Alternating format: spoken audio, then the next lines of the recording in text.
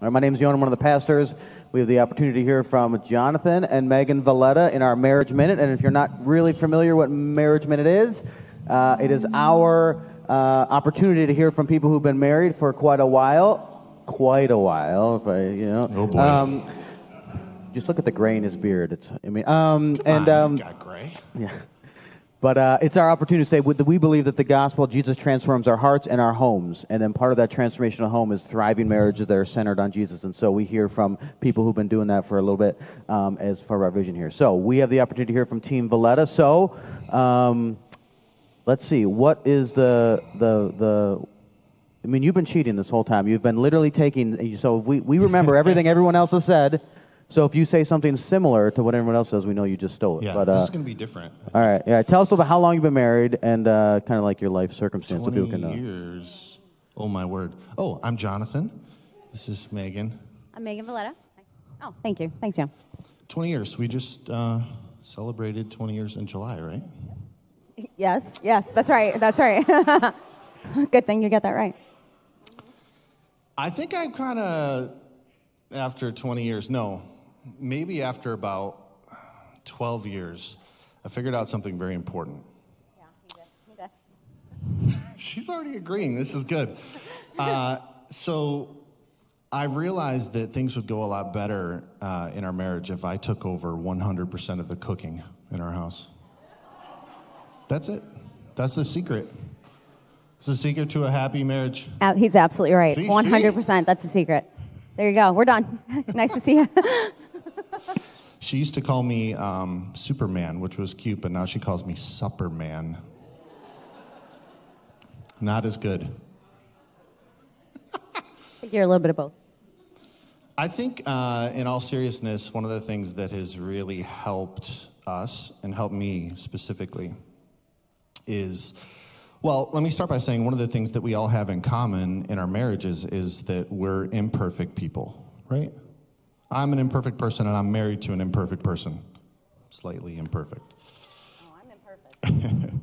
Um, and so I think recognizing that and starting to deal with my own depravity and my own issues instead of focusing on hers is really helpful. Um, I had a bit of a gospel awakening uh, at probably 30, between 30 and 32 years old, where the Holy Spirit just over time and through great people and resources and learning and teaching and all that stuff, just realized that uh, being a Christian is not earning your place with God. You know, it's not uh, achieving it, it's not working for it. There's nothing I could do to earn what God has done, right? Well, through Jesus. That's a free gift that's, that's given to me. That's God's, what's called God's grace. That's a free gift, something I didn't deserve. And so I think when you start to really um, recognize that, and that starts to take root in your life, the grace of God, and how much I need it. Oh my goodness, do I need that? Then uh, naturally, it only makes sense that I should be extending that same kind of grace to my wife. Right? I don't do that perfectly. I do that. I also do that imperfectly, but but that's that's been so helpful to recognize that man i'm depraved i'm messed up every day i need fresh mercy i need fresh grace why wouldn't she need the same thing from me right so whether we're you know in a little bit of an argument or there's some anxiety over something or there's some kind of fear over something or something's like bubbling to the surface there's grace for that right? I i i do everything i can to extend grace to that just the way that god does with me right? There's no spigot up in heaven a grace spigot that god just like ah that's enough. You know that doesn't happen. It's unending. It's unending. So again I, I do that very imperfectly but that's been helpful just to remind myself like okay what do i need from god oh man primarily i need his grace why not extend that you know so that's been helpful Yeah, and you were 24 um, when we got married. So, hold on, I want to bring up my notes. Oh. You were 24 when we got married, so that was uh, around six years later. So there were a good couple of years at the beginning that um, I was in the same boat, you know, we were both kind of, um, we grew up in church and we understood who Jesus was, but the implications of that towards other people when it came to grace, that was something that we had to learn. And so, yes, there were many times when, um, you know, I was slamming dishes and, you know, yelling and not giving each other grace. And thank God for His Word. Thank God for His um, church, uh, for the people that we've surrounded ourselves with that spoke truth into our lives. And thank God for maturity, too. I think, you know, little by little, as we got older and as we understood ourselves more and as we understood each other more, we were able to say, oh, oh, that's right. I was able to say, yeah, slamming dishes and yelling, that doesn't, that doesn't really communicate. That doesn't, isn't going to really get through. But by him explaining to me, you know, when you do that, I kind of stop, stop listening. But if you approach me this way, then I'm able to hear you. Like those kind of things helped, you know? And when love is kind of the, the, the ground for that, then of course I know he loves me. I know his actions might not say that, but I know his intentions are there. So keeping that in my mind helped me then to receive those things. You know, no, no, this man loves me, and I'm going to do my best to respond in love the way he needs to be treated in order for us to have this sort of communication thing. So I'm so thankful to God for that awakening, for that grace um, that I've needed desperately over and over again. And um, we are, we're pretty imperfect, aren't you? You got that right. Yeah. Um, I've got more, but you got something else? No, Go go ahead. Go, go. Um, yes, we are imperfect, and I'm so thankful to God for Jonathan, who has um, who has continued to move towards me in times of um, anxiety, in times of struggle, in times of um, you know feeling um, unvalued, or, you know, or, or or listening to lies maybe that the world would say would tell me. My husband continued to um, move towards me and remind me of the truth of the gospel and his own love too, and I'm so grateful for that um, thinking about kind of um, what we wanted to share with you guys, there were a few things that I was reminded of too um, in our 20 years. Because, you know, like I said, those first couple of years when you're first married and you think about it, like, you, there's a lot to learn. Like, you're in love and this is like fantastic. And then you go, oh, that's right, we're two imperfect people. Uh, so, one thing that I learned is it's really important to guard your marriage um, from envy and covetousness. Um, there are times in our marriages that are really vulnerable. Um, it could be illness, it could be job loss. Um, for, for, many of us, it's having small children. Um, that is a time when our marriages can be really vulnerable. And that was a time in our marriage where um, we kind of got distracted. We got distracted from one another. And um, it was very easy to look at other marriages that maybe people had been married longer and see how other husbands were treating their wives. You know, how um, maybe they were putting their arm around their wife, or they were, um, you know, showing them affection publicly, or they were bringing them flower, or doing different things that maybe at that point, because our lives were vulnerable or different, you know, with our small children, and my husband being at a, a difficult job and finances were tough. It was all, it was, it was breaking, a breaking place. Um, I started looking around and I started envying. And, um, and it was the beginning, it was the beginning of sin. It was, it was the start of some sin. And, and the Bible tells us that if you let sin take root, it's going to lead to death.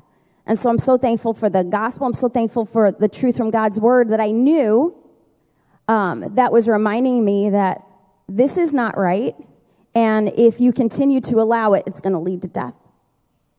And um, I was reminded of, um, of King David, who, if you don't know the story, um, check it out about Bathsheba, who he, um, he saw her, he was someone else's wife. He was the king, he had his own wives. And yet he decided that he wanted her and he took her. Um, and when he finally realized his sin, he said in Psalm 51, um, Against you and you alone have I sinned. And it was just a reminder that when I sin against my husband, I'm sinning against God. And in the same way, when I'm faithful to my husband, it's, it's faithfulness to God.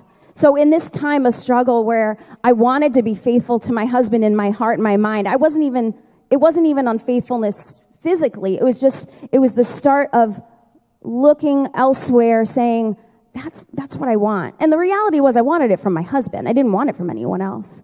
And I'm so thankful for um, people that I was able, women that I was able to go to to say, I'm struggling. Would you pray for me? And good teaching in our church. Um, Pastor Dan doesn't even know, but he, he preached a message about secrets and about being um, truthful. I don't know if you remember that one. And um, I remember I was pregnant with my third child, and we went home from church that Sunday, and I said, "Honey, I got to tell you a secret." and I told him that I was I was being envious, and that there were things that like were, were not that were sinful in my heart, um, that that would lead me to look elsewhere. That I didn't want to look elsewhere. I wanted from you, you know. And that was a starting point, I think, where we really started um, prioritizing each other and I wanted to share that because marriage is hard. And I think we like look at other people and we think that it's like really, really great, you know, when we see them. And um, I might have been looking at some of those other marriages thinking they were great, but I don't know. I don't know, you know, what they're like at home. Only you and your and your spouse know what you're like at home. Um, and so um, I'm thankful for repentance because it's repentance that brought us to, um, to better connection. Um, so, my encouragement is to guard your marriage um, from covetousness, from envy, um, and continue to move towards one another. If there's something that you need, talk to your spouse about it. And if he's not or she's not um, responding, go to God about it. There were times that I would pray and I would say, God, I need this from my husband and, and I'm not getting that. Would you help him and would you help me to find my fulfillment and everything that I need in you? And little by little, I found my rest in God, and my husband started to move towards me in ways that I needed. So it wasn't instant, but it took it took time. But um, that was something I think that was really huge in our marriage. Do you have something? You, okay, sorry. Um, another thing that I wanted to mention was to guard your marriage from um, from prioritizing other things. Um, and when you don't have kids, you can prioritize hobbies or you can prioritize other people and, you know, other things. And um, while other things are good, like that's, um, those are things that can kind of take away from the time that you spend with your spouse. Um, and that can be tough because then your spouse maybe thinks that they're not, they're not important, you know. Um, when it comes to kids, what, one thing that we've done that I think was vital to the, the health of our marriage was we decided very early on when we had kids that our kids were not going to be number one. Um, I've heard um, women say before, "Oh, it's all it's all about the kids." You know, our kids are the most important things to us, and if that's your your mindset, that's very dangerous. It's a very dangerous place to be because your marriage is not about your kids. They weren't there when you started your marriage, and they're not going to be there. They're going to go do their own thing. Your marriage is about the two of you. And so early on, we decided that um, we were going to prioritize bedtimes, that our kids were going to go to bed 7 7.30 they were in bed so that we could have adult time um, we were going to prioritize um, our bedroom so our children did not sleep in our bed um, i know that can be kind of controversial but um, that was our sacred space. Sometimes they'd come in in the morning on a Saturday morning or something like that, or if they were sick or something. But that was our sacred space. Sorry, you guys. You're not in our bedroom. Um, and uh, and one thing that I think I've I've said to our kids over and over again, they've heard this before. Sorry, you guys. Um, I tell them all the time, "Daddy is my favorite. You guys are tied for second place." And I want them to know that because I want them to understand that this this marriage is solid like this isn't going anywhere. And if this is solid, then they can be, they can rest. They can rest in the, the foundation of their family that we are built on, um, on the love and grace of Jesus Christ and in the love of each other. And so they don't have to worry. They don't have to, um, they can be, rest in us, you know? So um, those are some major things that we've done. I don't know. What else you have to add? I didn't realize you had an entire message prepared. I did. Sorry, I did. I feel it's like so, they finally gave me a microphone not to sing but to talk. I got to get it out while I can. I feel so inept. That was beautiful. Let me just leave you guys with a quick scripture. Is that okay? I think this is helpful. Our friend Melissa shared this with us this morning. It's Ephesians 4 2. It says, Always be humble and gentle, be patient with each other, always making allowance for each other's faults because of your love. Always making allowance for each other's faults because of your love. I think that's so helpful. Um, we've been up here long enough. I'm not going to know. I know. go too Yelling deep into that, but that's a that's a good one to remember and write down.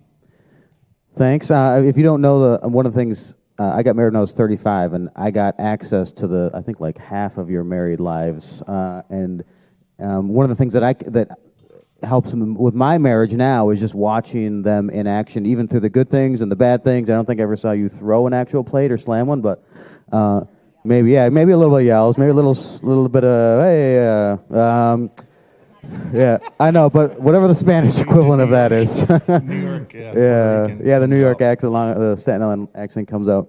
Um, but I think uh, just a testament to the fact that you have contributed to not only your own marriage but other people's marriages as well, and um, encouragement for everyone else who's married, just to invite people into your lives and and demonstrate a, a good marriage through the goods and the bads and the uglies. So, um, thanks, Team Valletta. Thanks for sharing, and um, get the heck off stage. We're done here. Yeah. So yeah. yeah.